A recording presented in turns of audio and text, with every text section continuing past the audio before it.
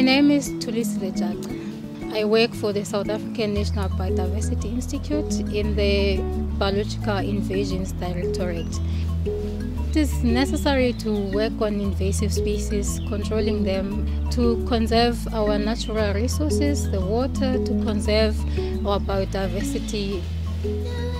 What my work entails is mainly getting out into the field, getting the population sizes of the species, and collecting all the correct field data, taking the samples to the taxonomist. They are the key people in our line of work in giving us the correct identification of the species. My name is Ndombifiki Lepaliso. I am born and bred in Soweto and I am a taxonomist here at the South African National Biodiversity Institute. Through taxonomy, we're able to give names to organisms based on their physical attributes, their characteristics, and in that way lumping them together to give a system to the organisms that we have in our biodiversity. Taxonomy is very important in uh, alien invasive species and the understanding thereof.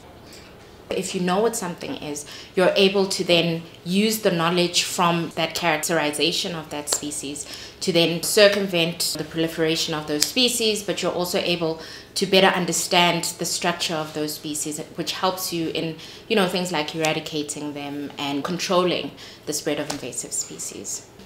The tricky part comes in when alien invasives are very, very similar to indigenous species. In that case, you need to be very rigorous because sometimes the difference is something as small as you know leaf hairs looking one way and not the other. You, you need to run through the process in a detailed manner to be able to pass the information on to the invasive species team so that they then can use information that is that is accurate and don't cause any kind of backlash to our indigenous biota. Yes i am for hopeful that we can win uh, the battle on invasive species. You know, as long as we are able to take actions on these species whilst they are still in their early stages of invasion. So, in that way, we can stop them from expanding.